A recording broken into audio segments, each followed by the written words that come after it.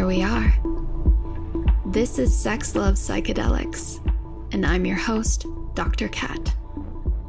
Bringing you psychosexual conversations that will leave you intellectually turned on and hungry for more.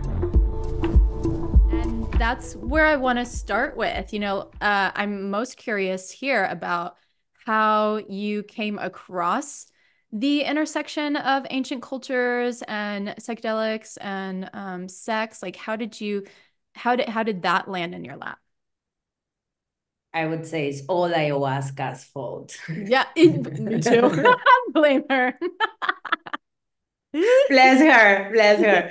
Uh, but um, yeah, it's been all my my journeys with ayahuasca that um that she started um, not only you know like showing me my my path mm-hmm. but also in doing so um, showing me how these has been things we, we we have been doing from the beginning of time so i don't know if that had to do with my resistance to the path that she was showing me that was mine and i was like no no no this cannot be my path so over the course of maybe 20 ceremonies in the course of a couple of years that she was repeating the same message she found different ways of bringing this message to me as in why this was my path and over time uh, start increasing the you know um, the points that she was making mm-hmm. as why i had to step up when i was kind of you know dismissing the message in a way Mm-hmm. For context, 15 years ago is not what it is today. And, you know, I, I really, it hasn't been an easy path to step up anyway, but yeah.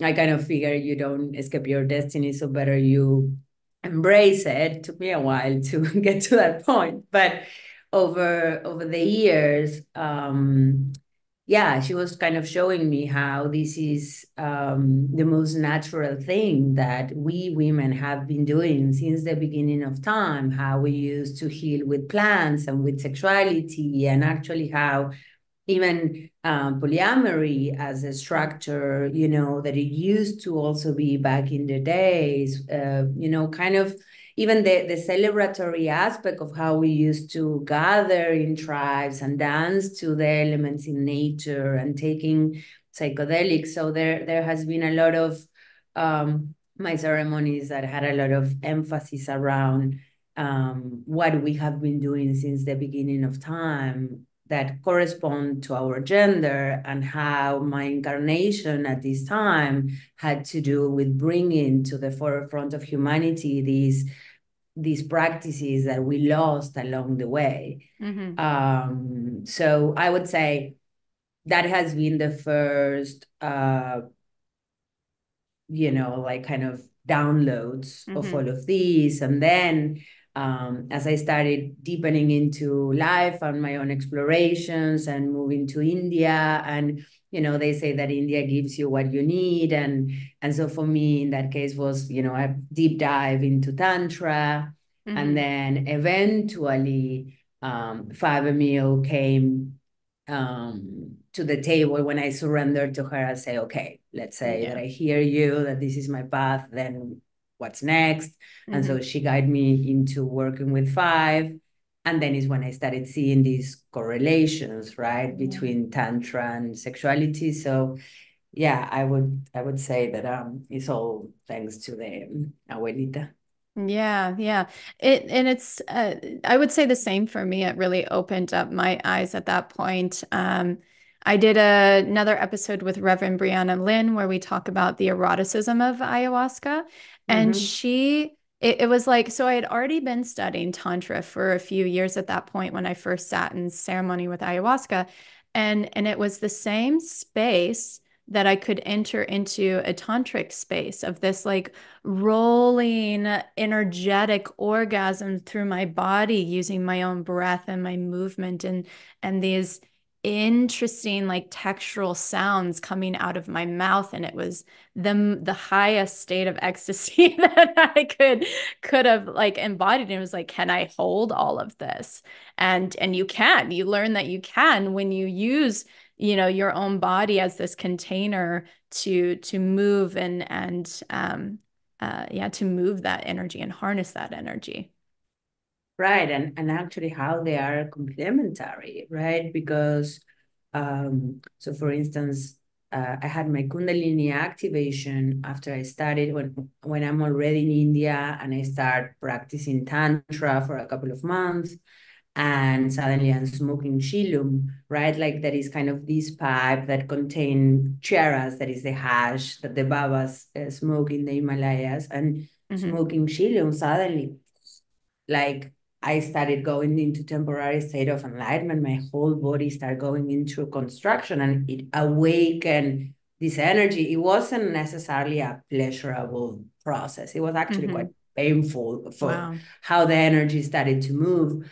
Um, so much so that eventually it was so intense that I end up having surgery in India, you know? Wow. Uh, right. But so what I'm saying is like these are physiological, real stuff, but the role of how entheogens, because it was only smoking while smoking that that catalyst experience happened, right? Mm-hmm. So then it it it, it it it naturally um, in my own exploration showed me how they actually go together really well mm-hmm. and the fact that when we do ceremonies they put women separate from men i think that it has to do more with male that are holding the ceremonies not knowing what to do with all that sexual energy that mm. start coming to surface right rather that and so that is like let's just keep them separate mm. but ayahuasca in its own in my own journeys was showing me that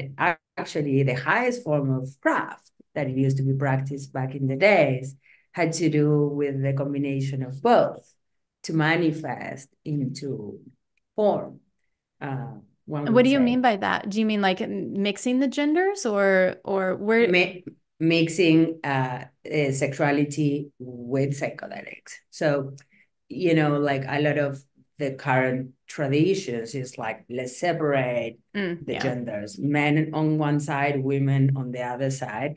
But that is I I for the insight that I got on my my intuition is is just because they don't know how to manage that otherwise. So that's why they separate mm. rather than is actually uh, something that interwoven so great and that in a way kind of became a lot of my path um, and maybe that's why she was showing me those things in, in the ceremonies over and over again right the correlation and the complement that happened with psychedelic experiences to tap into one creative force um, it really facilitates this encounter. And if you had a trauma, uh, sexual trauma, it will bring it to surface mm-hmm. for you to, you know, work on it and release it. Um, and if you don't, it would connect you with this force in a different way that you may have never encountered it before, mm-hmm. right? And um, and then serving medicine eventually the, the decade later, it was to observe these across the board when I was serving 5-MeO and doing it in private ceremonies, you know, in progressive dosing and seeing that this was something that was repeating um, for everyone that I was serving now. And so, yeah, I, I think that this is not something very much talk about. Yeah. Uh, right. Um, but in my own personal exploration and in my own private practice is mm-hmm. a common denominator um, that I've seen over and over again. So yeah, that is kind of part of my passion and also what we are bringing to market yeah. with Nana is yeah. you know the the importance of understanding your sexual energy uh, as your life force and how to circulate it um, is essential for mental health and well being. Well, that was fun. Thanks for tuning in, lovers. And if you want to experience more ecstasy and sexual liberation, head over to sexlovepsychedelics.com and learn about how you can join me for any one of my online or live events. And while you're there, grab my free guide on sex and psychedelics. Remember, this podcast is for entertainment and educational purposes only. Please contact your healthcare provider and local law before pursuing any of the products or psychedelics discussed. And one final note here I make this show specifically for you. If you're loving the show, then be sure to leave me a review in iTunes or Spotify to let me know. Happy to be here and happy to serve. I'll see you next time on Sex Love Psychedelics.